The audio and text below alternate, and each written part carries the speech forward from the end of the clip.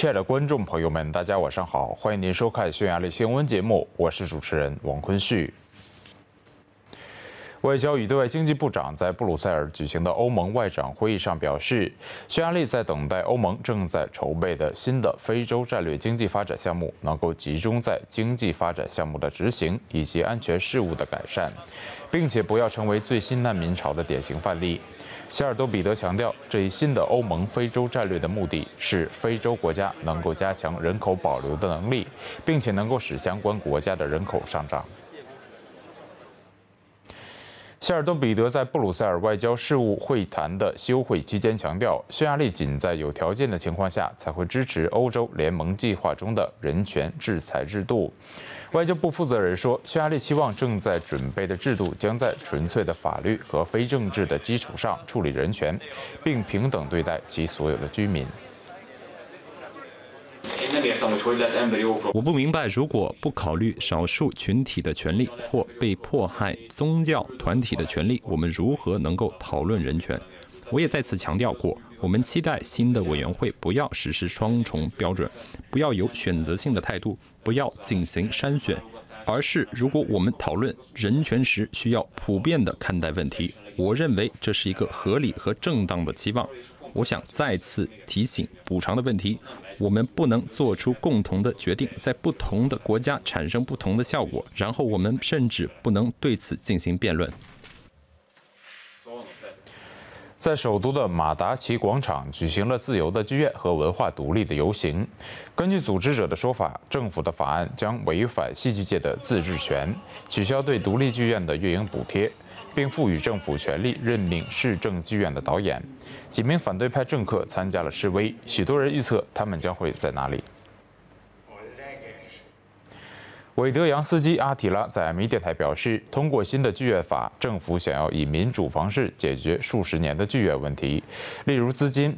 这位匈牙利戏剧学会主席表示，他们对此法案感到满意，也为他代表了重新计划和消除不公正现象的机会。预计该提案将在星期三由议会投票通过。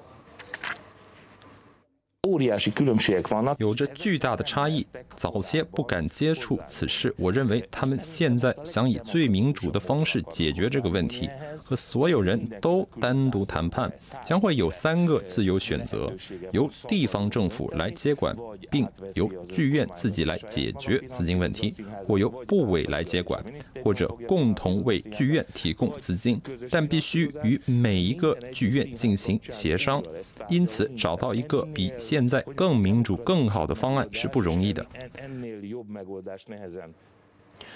方基各也前来参观梵蒂冈的伯利恒展览，匈牙利则是今年的特邀嘉宾。科达伊佐尔坦合唱学院的学生为天主教领袖表演了匈牙利的耶稣诞生戏剧和教堂的圣诞节颂歌。方基各还获得了意大利的一种不知名的圣诞巧克力，为此他在匈牙利语中表示感谢。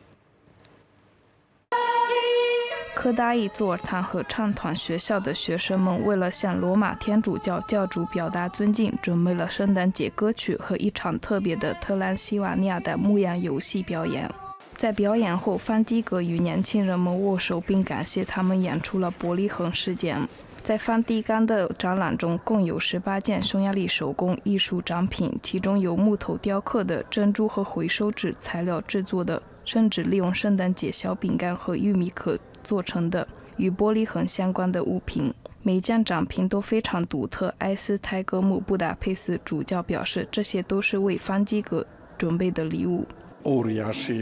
对于我们来说，这是一个巨大的机会，可以介绍我们自己的传统，但同时我们可以利用这一机会就圣体大会引起大家的注意力。我认为，这两件事情无法更完美的连接一起。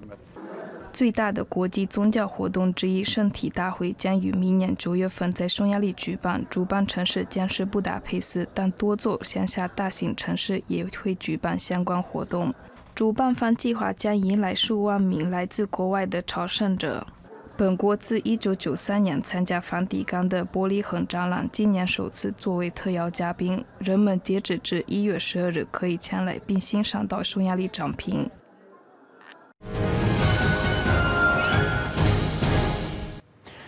现在前来吉尔兹参观的人可以到赖古伊安塔尔民族博物馆一观。游客们在入口处可以看到一个完整的通过姜饼制作的世界，跟随博物馆的同名民族家赖古伊安塔尔从鲍孔尼到北乌拉尔，从多瑙河到伏尔加河的旅程。沃什州的查恰尼多罗斯洛也为圣诞节做出了准备，每年都会有一整个露天的展览在这里举行。本次用超过五千个 LED 灯泡，耗时三个月制成的圣诞老人之乡北极圈的壮观景象将映入人们的眼帘。